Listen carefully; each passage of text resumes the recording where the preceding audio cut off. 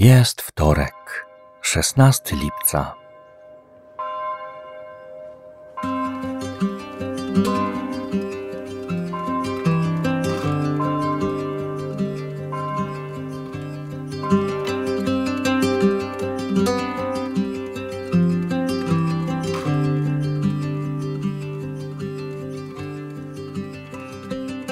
Zanim wsłuchasz się w słowa dzisiejszego fragmentu Ewangelii, spróbuj rozejrzeć się wokół siebie, by zauważyć znaki Bożej obecności w osobach lub przedmiotach, które Cię otaczają.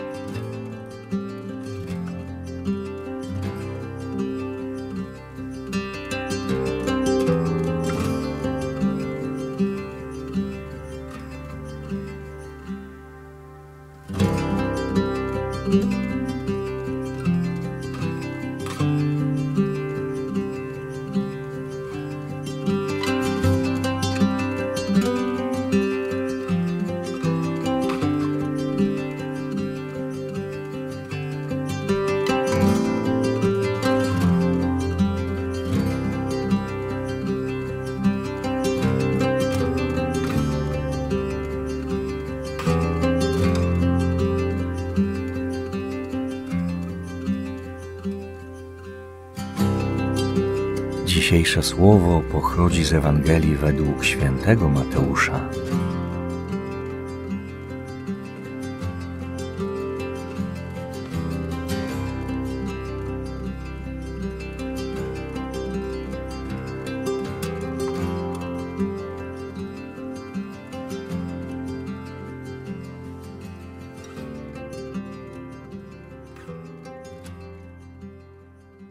Jezus począł czynić wyrzuty miastom, w których dokonało się najwięcej Jego cudów, że się nie nawróciły. Biada Tobie, Korozain. Biada Tobie, Betsaido. Bo gdyby w Tyrze i Sydonie działy się cuda, które u Was się dokonały, już dawno w worze i w popiele by się nawróciły to też powiadam wam, Tyrowi i Sydonowi lżej będzie w dzień sądu niż wam. A ty, Kafarnaum, czy aż do nieba masz być wyniesione? Aż do otchłani zejdziesz, bo gdyby w Sodomie działy się cuda, które się w tobie dokonały, przetrwałaby aż do dnia dzisiejszego. To też Powiadam wam, ziemi sodomskiej lżej będzie w dzień sądu niż tobie.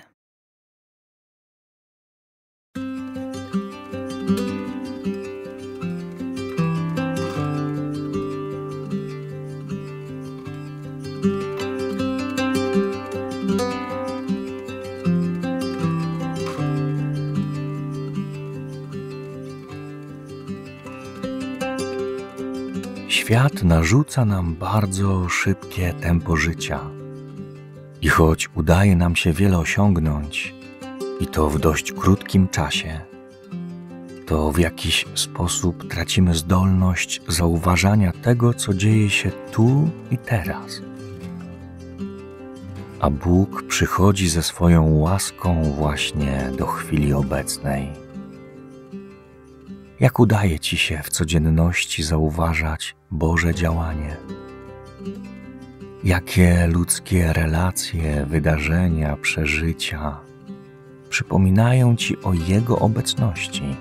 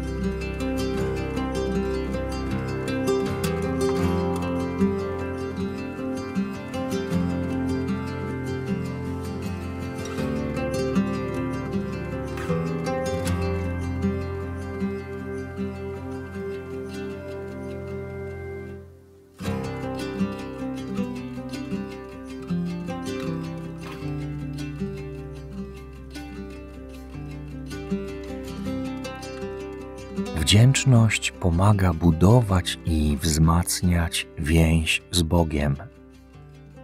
Gdy jednak łaska Boża przychodzi jako upomnienie przez trudne wydarzenie czy drugiego człowieka, niełatwo być wdzięcznym. Częstszą postawą w takiej chwili jest bunt i niezrozumienie.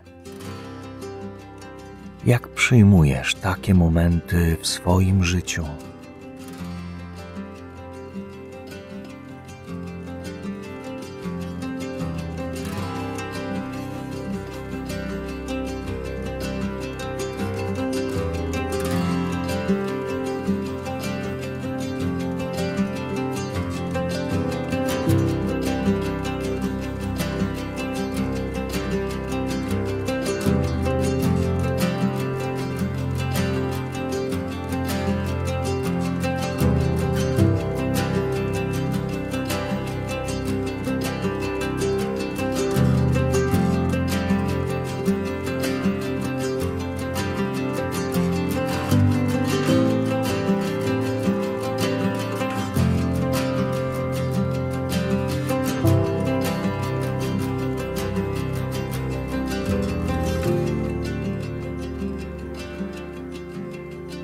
Bóg stwarzając człowieka obdarował go wolnością. Odtąd to człowiek wybiera i decyduje. Jednak celem Stwórcy nie było pozostawienie go samemu sobie, samotnego w życiowej odpowiedzialności. Bóg dał nam dar wolności ale jednocześnie zapragnął towarzyszyć nam w realizowaniu tego daru. W jakich sytuacjach potrzebujesz najbardziej Jego czułej i delikatnej obecności?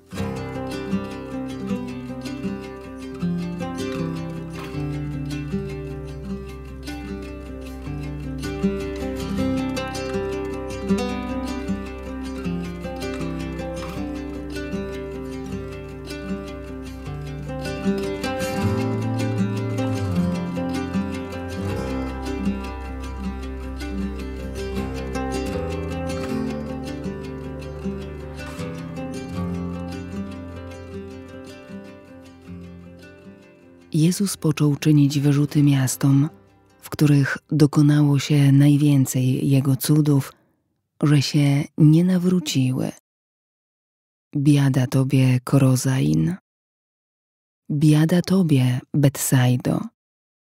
Bo gdyby w Tyrze i Sydonie działy się cuda, które u Was się dokonały, już dawno w worze i w popiele by się nawróciły to też powiadam wam, Tyrowi i Sydonowi lżej będzie w dzień sądu niż wam.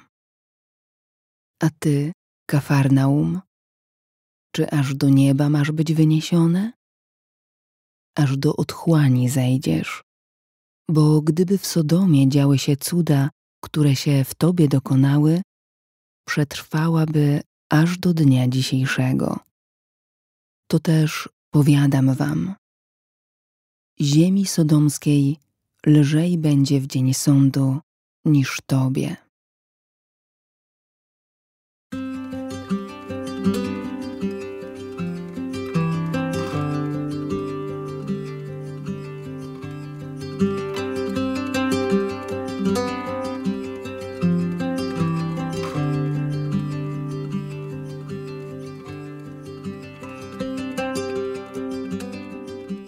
Koniec możesz porozmawiać z Bogiem o tym wszystkim, co szczególnie poruszyło Cię w tej modlitwie.